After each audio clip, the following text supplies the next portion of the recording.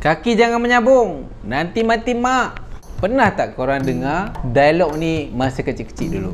Kalau tak pernah, maknanya korang adalah generasi baru.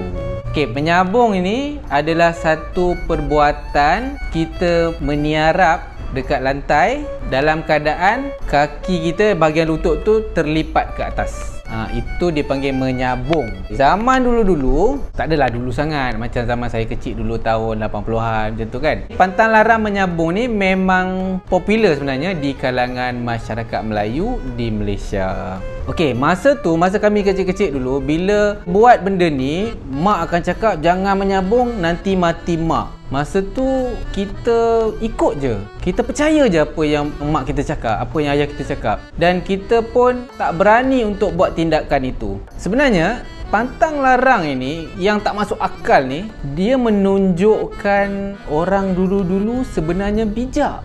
Sebab apa bijak? Sebab dia orang macam advance, dia orang tahu cara yang sangat berkesan untuk mempengaruhi manusia, untuk memastikan kita tak buat perkara tu dia ada satu strategi iaitu dia tanamkan dalam minda kita percayalah bahawa kalau buat benda ni mak kita akan mati So siapa yang berani kan? Siapa nak mak dia mati? Jadi kita pun takut untuk buat benda tu. Kita tak persoalkan pun dah. Kita pun dah tak fikir dah betul ke boleh mak mak mati. Walaupun kita fikir lah tapi kita tetap ikut, kita tetap percaya kan. Tapi dia sesuai lah dengan zaman dulu. Kalau zaman sekarang, kalau kita dengar tu mungkin kita terus google. Sebab yelah tak masuk akal buat menyabung tu mak mati kan. So orang dulu-dulu bijak. Nombor dua saya nak cerita pasal apa sebenarnya di sebalik pantang lara ni? Apa sebenarnya rahsia? Sebenarnya dia bawa kebaikan. Kenapa saya kata kebaikan? Dia orang nak pastikan anak-anak ni dia bersopan dekat rumah.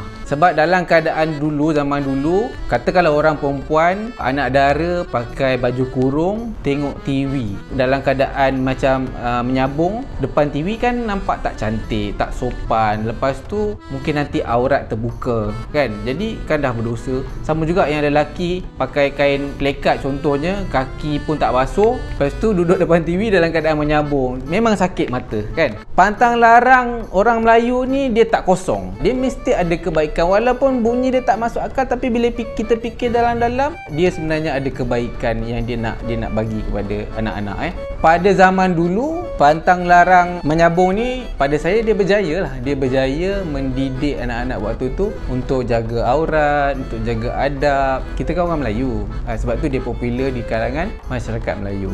Jadi uh, apa lagi yang korang rasa pantang larang pantang larang orang Melayu yang korang tahu? Cuba lepas ni kita fikir cari di mana kebaikan dia. Apa apa faedah dia sebenarnya? Apa yang tersirat di sebalik petang darang itu